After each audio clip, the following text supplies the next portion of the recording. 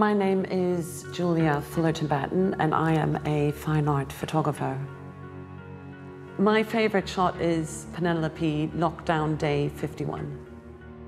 When we heard about COVID, I felt I had to record this really surreal time. It is that kind of lockdown state that we were all in. She's just looking out, like, what does the future hold? I'm Harry Borden. I'm a portrait photographer. My favourite portrait is this picture of Margaret Thatcher.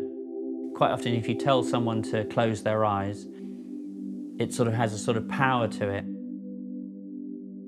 What's going on in there? What's she thinking? You're able to sort of gaze on her and, and reflect without having to have to deal with those piercing blue eyes coming back at you. I think there's a tension there and also a sort of vulnerability.